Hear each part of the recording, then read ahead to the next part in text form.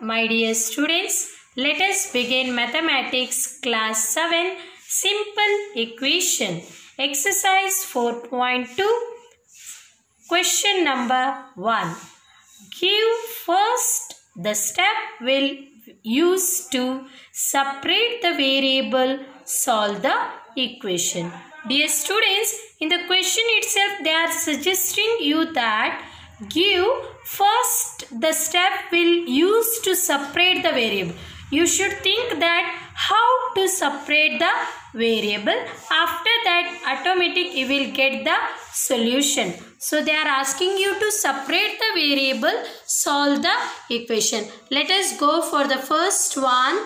Question a x minus 1 is equal to 0 how let us separate the variable we have to, think about first.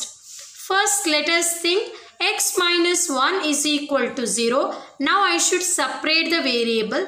If how can i separate? There is minus 1 if i add plus 1 then minus 1 plus 1 it becomes 0 only x will be left out from the left hand side.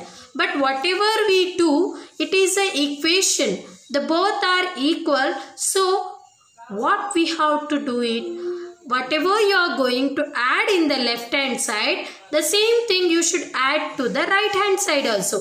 Then it will be equal. The equation will be balanced. So for let us do one thing. X minus 1 plus 1 is equal to whatever I have added here plus 1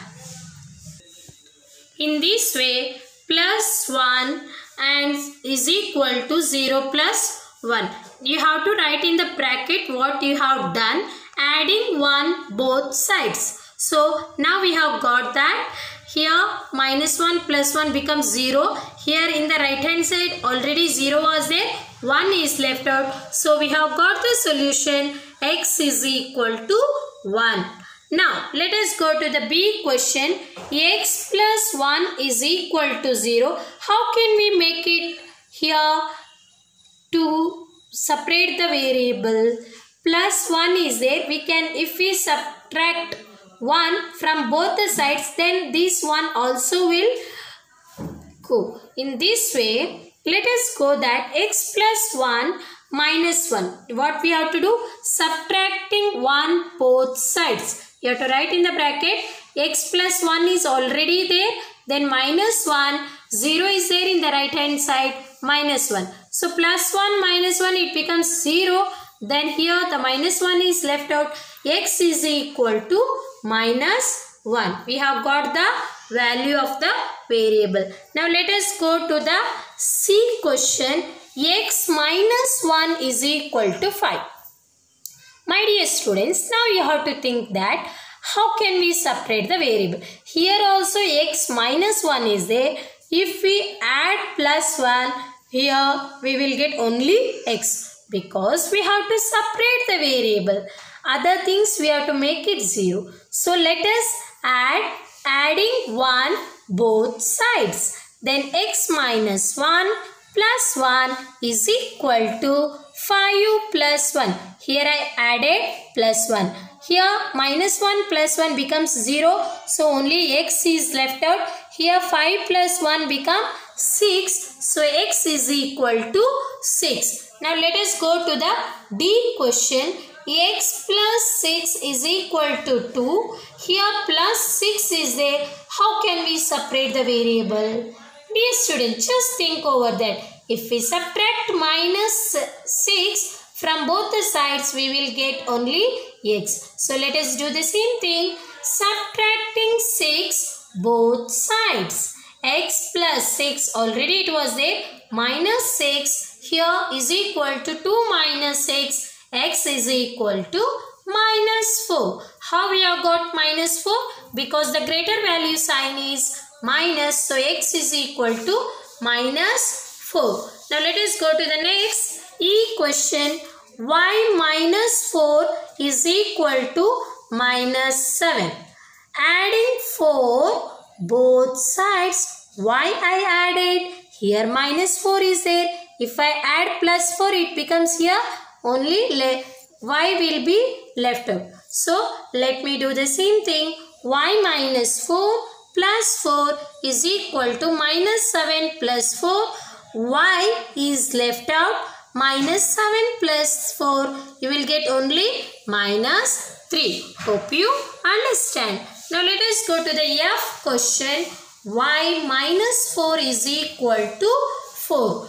Now what we do if we add plus 4 both the sides here variable will be separate. Hope you know the variable y is a variable y minus 4 plus 4 adding 4 both the sides.